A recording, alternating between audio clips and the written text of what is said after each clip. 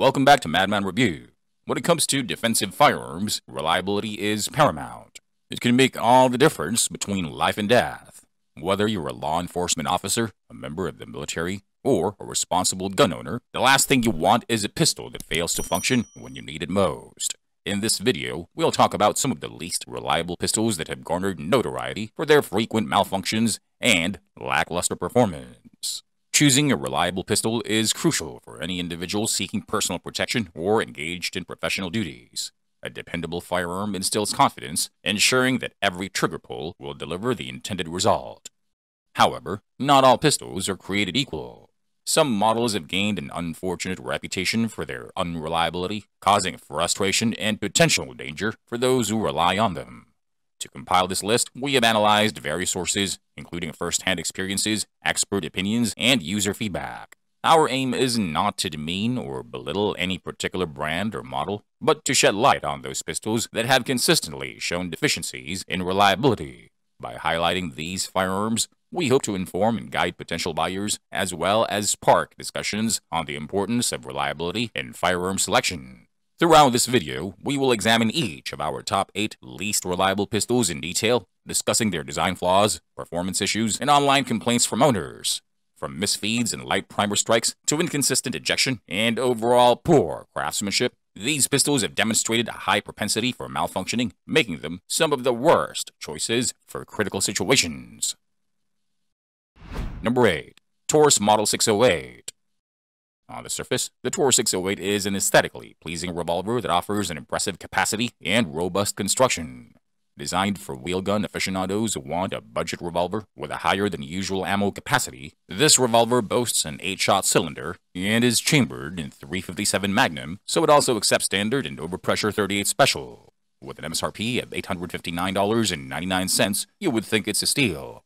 Well, I suppose there are owners of the Taurus 608 that could say that. Me, personally, as much as I'd like to, I can't. The Taurus 608 stands out as the only revolver on this list.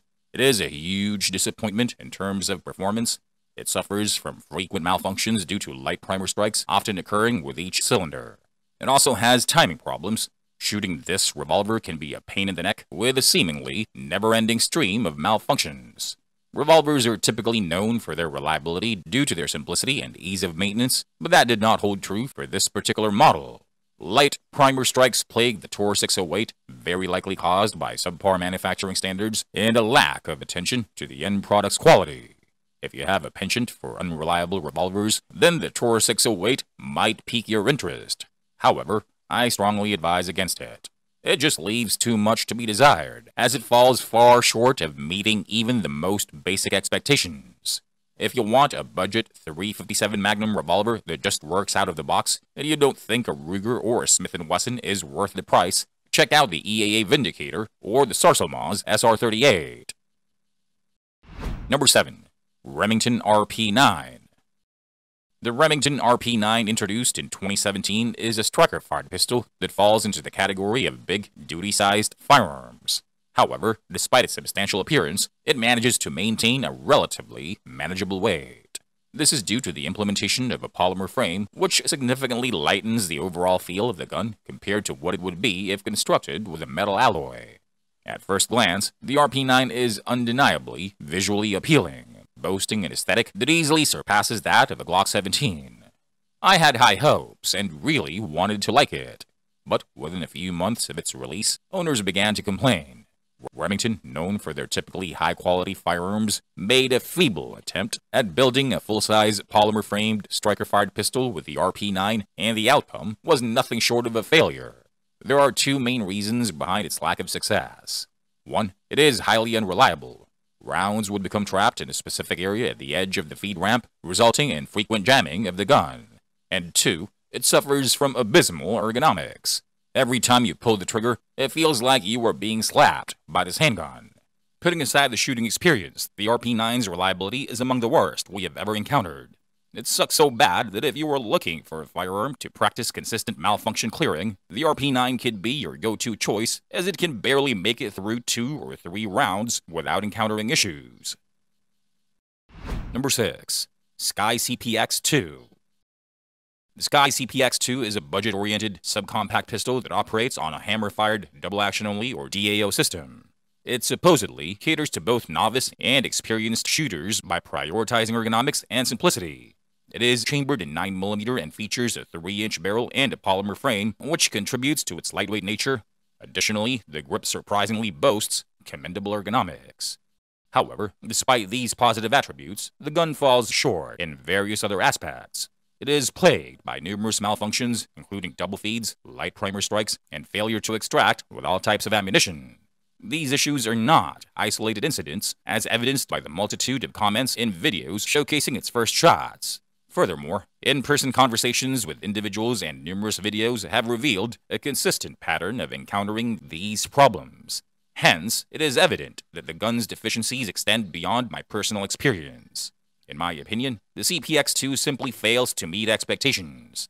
If you find yourself in the 200 to $300 price range, I would advise considering alternatives such as a Hi-Point, which offers superior reliability compared to the SCCY CPX-2. Alternatively, you can look into the Taurus G2 or G3 line of pistols. And if you can manage to save up a bit more, you can go with a Canik. Any Canik handgun is going to be a thousand times more reliable than this SCCY CPX-2, and if you're lucky, Maybe you can find one in NIB condition selling for only $250. Number 5. Remington R51 The Remington R51 ranks among the most inferior firearms one could possibly acquire. It was truly disheartening to learn that the company faced a substantial settlement for the Sandy Hook lawsuit and has struggled with bankruptcy in recent years. I sincerely hope that Remington can find a way to overcome these challenges and secure its future. Initially, I had high hopes for the R51, primarily because of its resemblance to a futuristic ray gun designed for enthusiasts. However, if I had to choose between a brand new R51 Gen 2 priced at $360 or a used Hi-Point C9 available for $100, I would undoubtedly opt for the C9. The Remington R51 stands as one of the most notorious examples of a gun plagued with malfunctions. It suffers from a wide range of issues, including failures to feed, where bullets nosedive into the magazine and feed ramp, as well as failures to eject, resulting in frequent stove piping. Moreover, the R51 experiences problems with its magazine release and slide, often leading to failures to return to battery. To make matters worse, the R51 fails to meet the criteria for a reliable range gun, particularly for individuals with larger hands prone to slide bite. But that's not all. Field stripping the R51 for cleaning becomes an arduous task, one that you would likely avoid after the initial experience. Given the limited use you would have with this firearm beyond a couple of boxes of ammunition, the need for cleaning would be minimal unless you plan on selling it. Number 4. Taurus GX4 in the spring of 2021, Taurus introduced the GX4, a compact polymer handgun chambered in 9mm, aiming to penetrate the rapidly growing market for concealed carry microcompact pistols. This market segment has seen significant expansion since the release of Sig Sauer's popular SIG P365 over three years ago. The GX4 is a striker-fired semi-automatic pistol that utilizes a lock breech short recoil action, sharing a resemblance to other micro-compact polymer handguns in terms of appearance. It features a serrated, flat-faced trigger with a safety blade, reminiscent of Glock's trigger safety. Promoted as Taurus's first micro-compact 9mm, the GX4 boasts a streamlined design for durability, reliability, and ease of concealment. Remarkably, it offers a magazine capacity comparable to full-size handguns from previous decades, impressive out-of-the-box accuracy, Taurus's limited lifetime warranty, and an affordable MSRP of $400. So, why is it on this list? Because just last May 24th, Taurus issued a recall. If you go to gx4safetynotice.com, it reads, quote, some GX4 pistols assembled and sold only in the United States may, under certain circumstances, discharge when dropped. Safely unload and stop using your GX4 immediately. Failure to observe this warning may result in injury or death to you or others. Taurus will inspect, repair if necessary, and return your pistol to you as soon as possible free of charge. Number 3. Smith & Wesson CSX. In early 2021, Sig Sauer caused quite a stir with the release of their P320 AXG, a variant of the P320 featuring an aluminum frame instead of the conventional polymer frame. Following suit, Smith & Wesson introduced the CSX. The CSX is a micro-compact hammer-fired pistol with an aluminum frame and a slim grip that offers interchangeable palm swell grip inserts. It boasts a magazine capacity of 10 or 12 rounds, and its standout feature is the single-action only trigger. Due to its hammer-fire design, the CSX incorporates a beaver tail to prevent hammer bite. The exposed hammer and beaver tail lend the CSX a reminiscent look and feel of the 1911. If you've ever fired a 1911, you know it possesses one of the smoothest and lightest triggers among modern pistol designs. On paper, the CSX combines the reliability and simplicity of the shield with the comfort and superior trigger pull characteristic of all steel single action only pistols. However, it turned out to be the exact opposite of what everyone thought it could be. The single action only trigger of the CSX is much heavier than the 1911s and exhibits a longer reset compared to the Shield. And there are times it just fails to reset altogether, which is why it made it to this list. It poses a safety concern in self-defense scenarios. As it stands, the CSX should be strictly used for target practice. If you're itching for an all-steel hammer-fired single-action-only shield, it may be worthwhile to wait for the second generation of the CSX. Otherwise, the polymer-framed shield would be a better choice. Number 2. Shadow Systems CR920 Shadow Systems, based in Plano, Texas, is a designer and manufacturer of high-quality firearms and gun parts. Their MR920 is a remarkable piece of hardware, essentially a superior version of the Glock 19. But their CR920, which is supposedly an upgraded Glock 43X, turns out to be a huge failure. The CR920 boasts front and rear slide serrations, a 3-inch barrel, and a magazine capacity of either 10 or 12 rounds. It comes optics ready straight out of the box, and features an aesthetically pleasing design, unlike the unremarkable appearance of the Glock 43X. Furthermore, the CR920's texture and grip angle have garnered praise from users. It feels comfortable and secure in the hands, again because it's supposed to be an improved version of the Glock 43X. Its release at SHOT Show 2022 generated excitement among enthusiasts. However, despite its touted advantages, the CR920 has become Shadow Systems' worst pistol due to its reliability and feeding issues. Numerous dissatisfied owners have shared their experiences online, primarily revolving around reliability problems. Some users have also complained about the barrel's finish chipping. Six months after its release, Shadow Systems issued a statement claiming that all reliability and feeding issues associated with the CR920 had been resolved. They specify that the problems were isolated to early production CR920 barrels, which included a machine feature referred to as the butt. If your preference is for a no-frills, micro-compact pistol with a 10-round magazine capacity that is optics ready out of the box, it would be advisable to choose the Glock 43X MOS instead. Number 1. SIG P210 carry.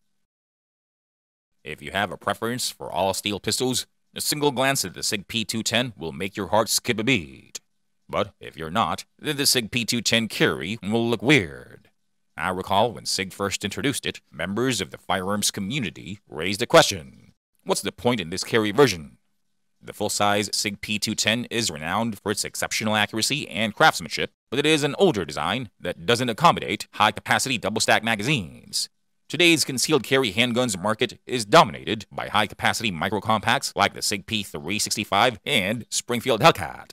This SIG P210 carry doesn't make sense. SIG enthusiasts purchased a P210 carry anyway, Soon after, reports from owners began to emerge on SIG's message boards, highlighting issues with the pistol failing to return to battery. Owners who experienced this malfunction note that it occurs only when attempting to hand cycle the slide while it is locked on an empty magazine. Some owners found a solution by gently pushing the slide forward, while others resorted to alternative methods, such as using a mallet to tap the slide forward. Undoubtedly, the P210 carry boasts incredibly tight tolerances, characteristic of high-quality production firearms primarily designed for accuracy, but it doesn't change the fact that it carries a notably high MSRP, somewhere north of $1,500. If you want an expensive production pistol, the FN509 midsize with an MSRP of $754 is a much better option.